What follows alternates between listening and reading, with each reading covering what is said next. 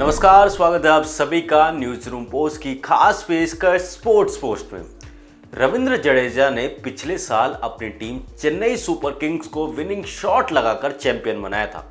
जडेजा लंबे वक्त से सीएसके के अहम खिलाड़ी रहे, लेकिन आप इस बात से बिल्कुल अनजान होंगे कि उन पर आईपीएल खेलने से बैन लग चुका है। तो चलिए आपको बताते हैं कि आखिर जडेजा के ऊपर क्यों लगा था बैन, जिसकी वजह से वो पूरा सीज़न नहीं खेल पाए थे। यह वाक्य हुआ 2010 में जब जडेजा राजस्थान रॉयल्स का हिस्सा थे।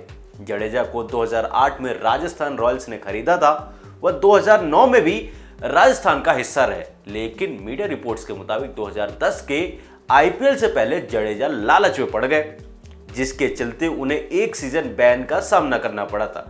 दरअसल जडेजा को राजस्थान ने 2008 में तीन साल का जो कॉन्ट्रैक्ट होता उसके तहत खरीदा था।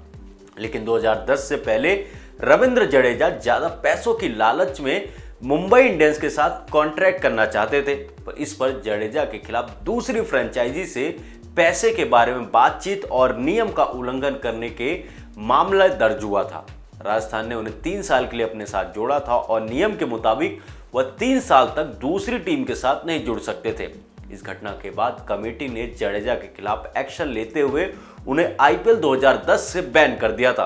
आईपीएल गवर्निंग काउंसिल ने खुलासा करते हुए बताया था कि वह लगातार मुंबई के अधिकारियों से मीटिंग कर रहे थे। यानी कि आपने देखा ना कि लालच है, बुरी भला और इसके शिकार रविंद्र जडेजा भी हो चुके थे।